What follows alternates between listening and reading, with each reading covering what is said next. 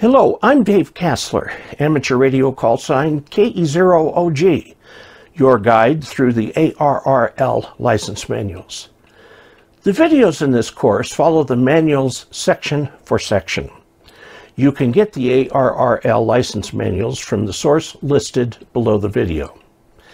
After you watch the video, dig into the corresponding section of the book, study the associated questions, and then come back for the next video. The section on bands and privileges is divided into a few kind of disparate sections. There's one on frequency privileges, one on emission privileges, power limits, primary, secondary allocations, and repeater coordination. A little bit disparate. Uh, what I want to talk about first is frequency privileges for the technician, and you're going to see this chart uh, quite a bit in your ham life. Uh, this is published several times a year in QST. You can get it also as a PDF off of the American Radio Relay League website. This has all the U.S. amateur radio bands. Uh, the bands actually changed fairly recently. Two new ones were added. Uh, 2200 meters and 630 meters, kind of experimental uh, sort of bands available to uh, extra uh, advanced and general. The bands that we're interested in for uh, technician divide into two parts. First of all, everything on this side of the page, right here, that right there are your fundamental allocations. Uh, 10 meters a little bit. Now if you go 6 meters and above, 6 meters and above here, you've got full privileges on all bands, uh, and you can go up to uh, 1500 watts PEP on any of these.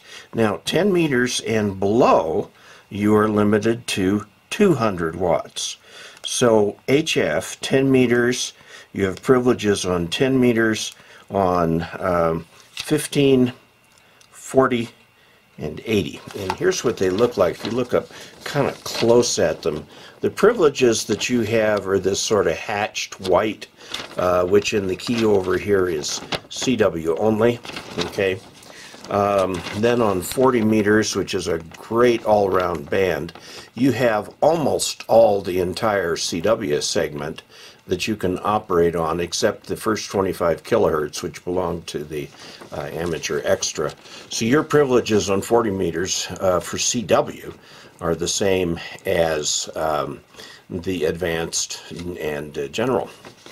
Okay, and, and then down here on 15 meters, you've got some privileges too.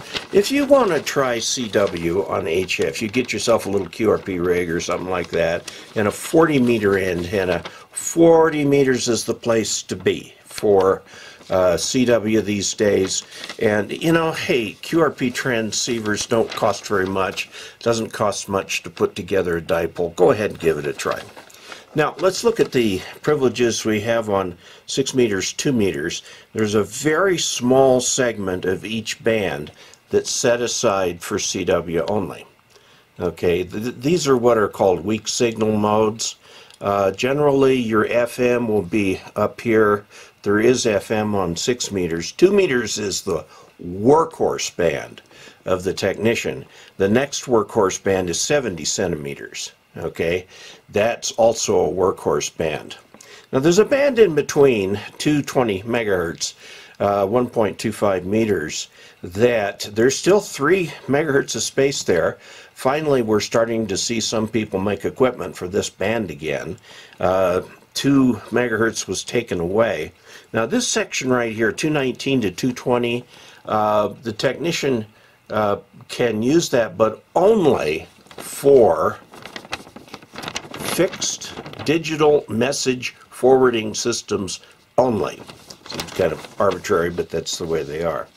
Now, some of these bands that are in the gray areas down here, which happens to include the 70 centimeter band, we actually share with other services, and amateur radio operation on these bands is usually secondary.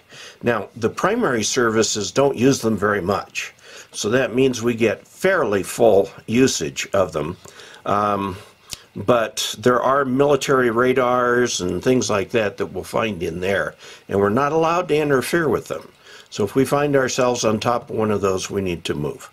Okay, and one other thing I'm going to mention about the 70 centimeter band is that there is a geographic restriction on the 420 through 430 that if you're within a certain number of miles of the Canadian border, you cannot use those frequencies.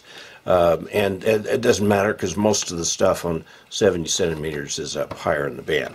So that gives you a nice little picture of the band privileges. The next thing it talks about is uh, emission privileges. Now, emission is referring to the type of modulation that you are using.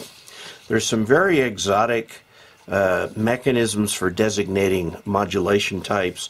None of them show up on the test. Don't worry about them. FM's the big one that you'll use, or if you want, CW. Why not? Um, a beacon uh, is defined in here as a station that puts out um, a signal over and over again so people can kind of tell if a band is open.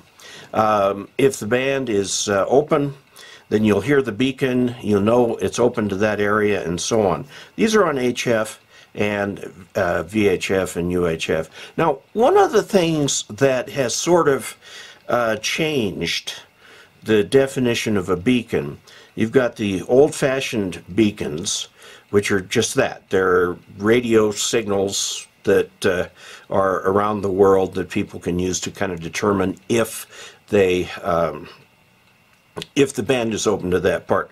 But then there's also the reverse beacon network, where instead of transmitters at these weird places, they've got receivers at these weird places. And there's something called the reverse beacon network, where you put out a signal and you can look on the internet and it will tell you where you were heard. And then there's something called WSPR, the Weak Signal Propagation Reporter, which is actually also a beaconing mode. And you can act as either a transmitter or a receiver. And uh, all this data is gathered together by something called PSK Reporter, and it will put out and give you a very nice map of where your signal is being heard. That's mostly used on HF, but there is some use uh, for it on some of the other bands. Now, uh, the amateur emission types that you see in the table here are common. Uh, CW we know, data we know, image or things like slow scan television and so on.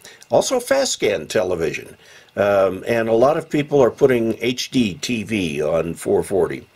Um, MCW is modulated CW. That's CW over FM phone is you know AM and FM and upper and lower sideband. Pulse is uh, uh, the the shape of the pulse is modulated to put information on it. Normally, you'd think of that as a data mode. RTTY we know is radio teletype. Slow this uh, SS spread spectrum communications is an exotic form of radio that you are entitled to use. Uh, you have to be above 220 uh, me uh, megahertz to use it, but it's very, very, very interesting.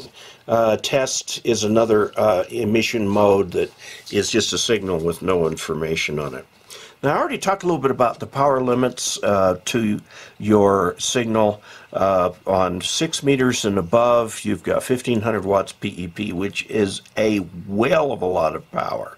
Unless you're working moon bounce or something like that, there's very little chance that you'll be using anywhere near that power. Uh, 25 watts to 50 watts or so is plenty on these bands for uh, FM. Below 6 meters, that means 10 meters, uh, you've got privileges on 10 meters, 15 meters, 40 meters, and 80 meters. On those bands, 200 watts peak envelope power. Okay, which is a well of a lot for CW, actually. Um, I don't normally recommend QRP for new hams, but a QRP HF CW radio will actually net you quite a few contacts. And that's something you can think about. I mean, you do your FM work, you do that, but you know, get together with a friend and both of you throw up a 40 meter dipole in your yard and you call each other up and say, okay, I'm going to get in this frequency and try CW. And you, you try your CW back and forth, and who knows, in a few months, you'll be very, very uh, proficient at it. I talked about primary and secondary allocations. If you're secondary and you're interfering, get off. Um, and then the last one talks about repeater coordination. Who selects a frequency coordinator? Um, and you can go to the National uh, Frequency Coordinators Council webpage and find out who the frequency coordinator is for your area. And believe me, there is one. Um, back east, where the population density is much higher than here in Colorado, frequency coordination can be a full time and controversial job because there are more people wanting to put up repeaters than there are repeater pairs available. A repeater pair is an input and an output frequency. And lots of things have to go into coordinating repeaters so that they don't interfere with each other. And it gets very complicated, the process of coordinating repeaters. Um, it is possible to put up an uncoordinated repeater, but you're looking for trouble.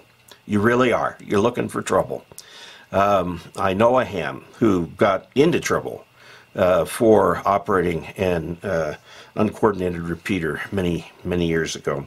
Don't do that. Um, and that uh, covers the section that we've got here. Our next section will be on international rules, and then we'll be about done with rules. And I'm sure you'd like to be done with rules and then get on the air. So um, we'll uh, pick that up next time. Thanks for following along with the videos and the book. After you've studied this section in the manual and are satisfied you understand the questions and their answers, come back here for the next video. The ARRL is the National Association for Amateur Radio, and I urge you to join, even if you don't have your license yet. That way you get QST, the League's monthly magazine full of articles for beginners and veterans alike, or you can choose On the Air, a magazine designed specifically for those new to amateur radio. Until we next meet, 73.